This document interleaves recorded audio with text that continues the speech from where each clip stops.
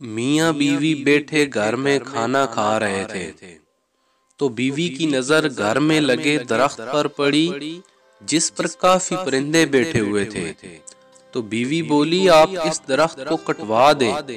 मेरी गैरत गवारा नहीं करती कि इस दरख्त पर बैठने वाले परिंदों की नज़र मुझ पर पड़े।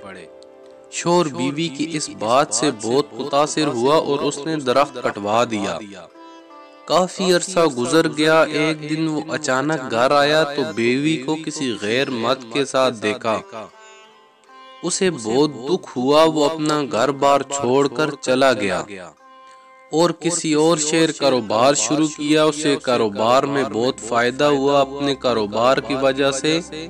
उसे शेर के मशहूर लोगों में शुमार किया जाने लगा। यहाँ तक के वक़्त के बादशाह तक भी उसने रसाई हासिल कर ली। एक दिन बादशाह के हाथ चोरी हो गई चोर को पकड़ने की बहुत कोशिश की मगर नाकाम रहे।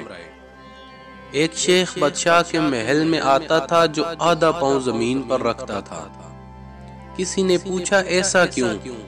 बोला ताकि कीड़े मकोड़ों को मेरी वजह से नुकसान न पहुँचे। वो शख्स फ़ौरन बादशाह के पास गया और कहा इसी ने आपकी चोरी की है।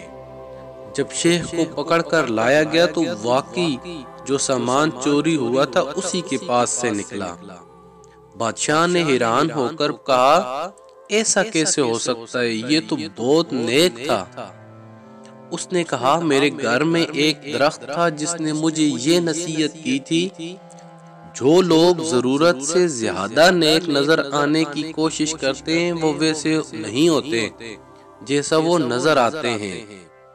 हम लोग नेक बनना नहीं, सिर्फ़ नेक दिखना और किलवाना चाहते हैं। और ये मुनाफकत का सबसे आला दर्जा है।